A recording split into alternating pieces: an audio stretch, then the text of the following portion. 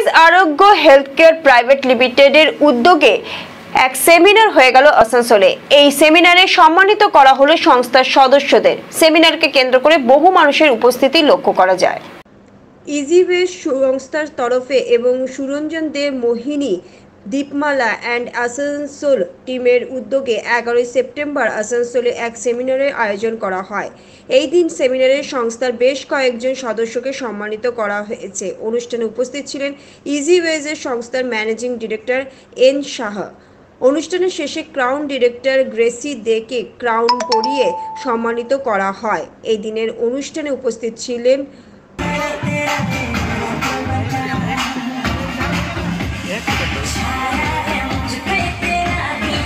कार्यक्रम है सम्मान समारोह का।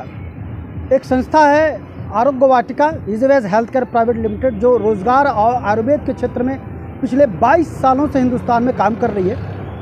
आज आसनसोल के ही एक हैं, ग्रेशी डे जिन्होंने इस संस्था में क्राउन लेवल को अचीव किया है।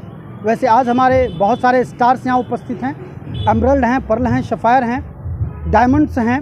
आज उनका सम्मान समारोह मनाया गया है।